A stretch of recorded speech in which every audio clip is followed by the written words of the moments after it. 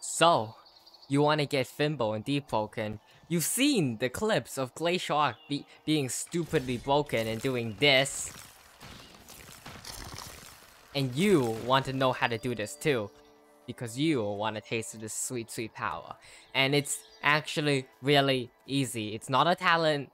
It's it's it's it's not anything special. It's it's not like a gem, a deep gem or something. No, it's just mantra modifiers. Okay, so here, here's here's I'll just tell you right now.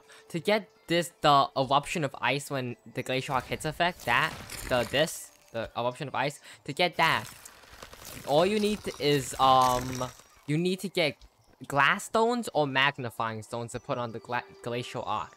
And glass stones, uh, you can't find glass stones, you can only make them, you can only craft them. And you craft them by going up to a crafting station, like, uh, for example, in, uh, Elysia, there was a crafting station at the general store. Is this the where the general store?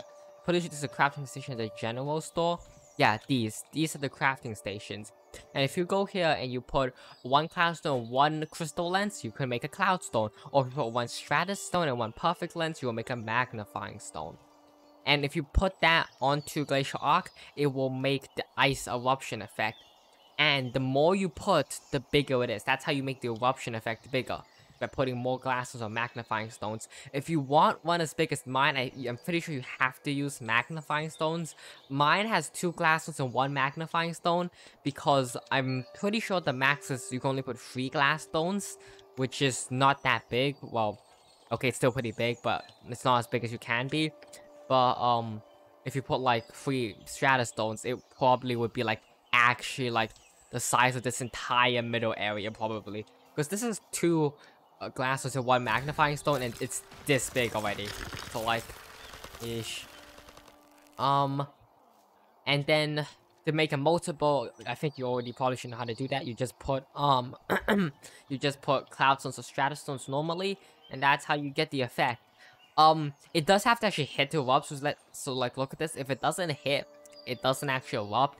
And if you're using it in a fight, be careful, because when you're using it, you can't block or M1 or anything, and you can take damage, you don't have iframes.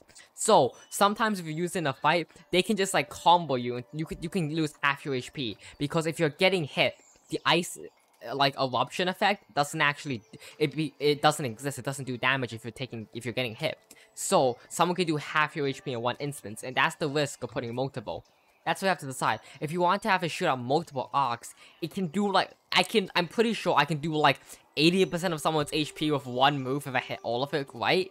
But the problem is, is that it's really, like, like if I mess it up, boom, all my HP is gone. But if you only have to shoot out once, it's like Ice Eruption. It's, it, it's, it's pretty risk-free, throw it out, boom. And it's not, I, I have not had it parried once in my entire life before. And I just think that's because no one knows how to.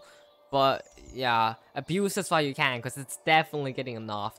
And um, the magnifying stones and glass stones don't even uh like make it use that much ether. My thing has I think one stone on it, two glass stones and one magnifying stone, and it only uses like half my mantra bar, and I only have 36 charisma.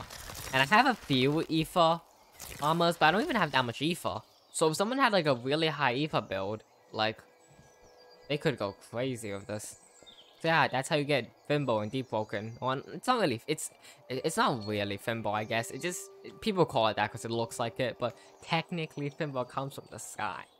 But yeah, that's how you do the Fimbul effect of Glacial Arc. Um, hope this video was useful. It's not really my typical video. I usually do a lot more like clips editing, but hey, if it was helpful, sub or something. Ah, no. Alright, see ya.